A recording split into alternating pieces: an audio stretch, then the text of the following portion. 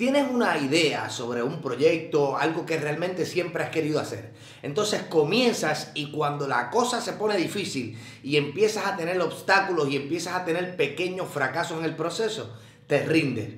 ¿Tú quieres saber cómo cambiar esta actitud? No te pierdas este video de filosofía para el viaje.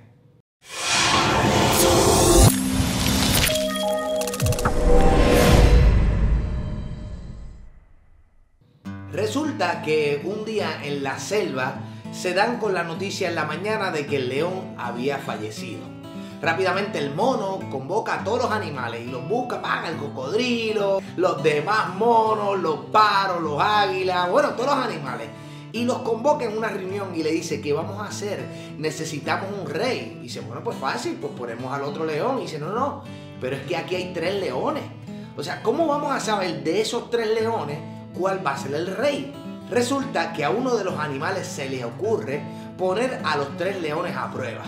Y dice, vamos a hacer algo. Vamos a hacer que los tres leones escalen la montaña difícil. Era una montaña que le decían difícil porque era muy, muy, muy difícil, por no decir imposible de escalar. Y el que logre escalar la montaña, entonces va a ser nuestro rey. Fantástico. Le comunican a los tres leones cuál era el plan y los tres leones salen de mañana a escalar la montaña difícil. Entonces el primer león empezó a subir la montaña. A mitad de la montaña miró y se rindió. El segundo león hizo lo mismo y subió un poquito más alto, pero también se rindió. El tercer león empezó a escalar y escalar y escalar y ya casi estaba sin aire y decidió rendirse también. Entonces los animales convocan una reunión y dicen, bueno, ¿qué vamos a hacer? Porque es que ninguno de los tres la subió. En eso vino el águila y dice, yo sé cómo escoger al león que nos va a gobernar. Dice, bueno, pero ¿cómo vas a saber tú? Ah, porque yo estaba volando por encima de ellos cuando estaban subiendo. El primer león miró la montaña y dijo, me rindo.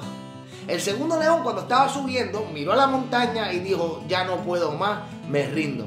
El tercer león, cuando estaba subiendo la montaña, dijo, hoy no la puedo subir, pero esto no termina aquí. Tú eres una montaña que ya alcanzaste tu máxima altura.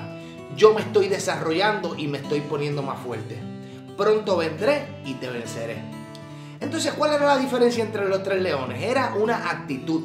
Cuando las circunstancias y los problemas son más pequeños que tu carácter como persona, entonces tú estás listo para ser rey entonces tú puedes ser rey de tu propia vida.